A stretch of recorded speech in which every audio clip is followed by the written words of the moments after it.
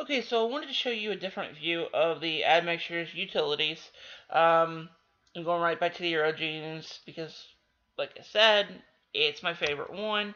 So let's do the Eurogenes, but this time instead of doing the admixture proportions uh, with the link to the Oracle, well, what we're going to do is do the admixture proportion by chromosome. Now, uh, the first thing obviously that you're going to do is you are going to put in your kit number and choose whichever item, uh, whichever version that you want. Now, typically, I always uh, suggest going to K36, but it's going to get very hectic on this uh, um, next screen if you do the K36, but you should give it a try. Um, now, it does take a little bit longer to load this screen than it did uh, the screen with the Oracle but it's going to go through and do chromosome by chromosome. Um, and it's going to load each and every one of them, and then you're going to get a list. Now, uh, the benefits of doing this is you're going to be breaking down everything. Um, if you're just trying to uh, like get an ideal, and um, like say you know that um, you match uh, this person or that person on this chromosome. You can start looking at those different chromosomes uh, matches and start saying, well, you know that like now the screen is completely loaded anyways. Um,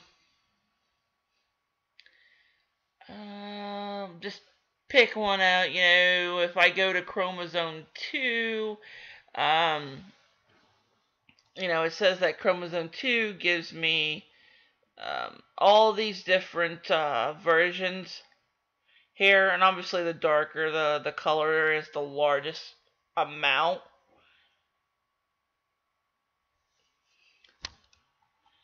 So it's just another little uh, way to look at your DNA it's always there.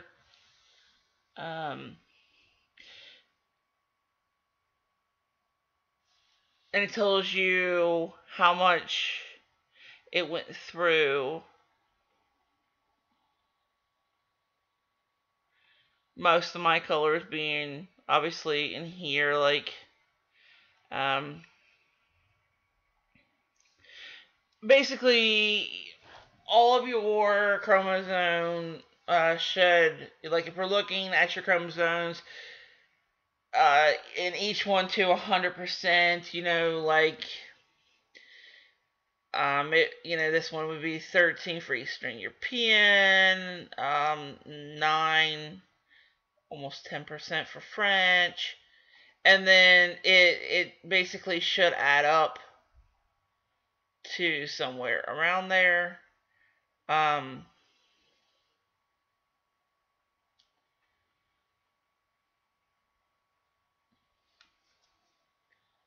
this is my matches, obviously. Yours are going to be different.